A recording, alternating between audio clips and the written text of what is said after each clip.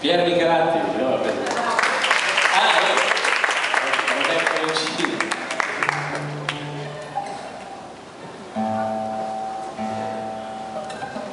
Poi devo dire una cosa, ma finisco da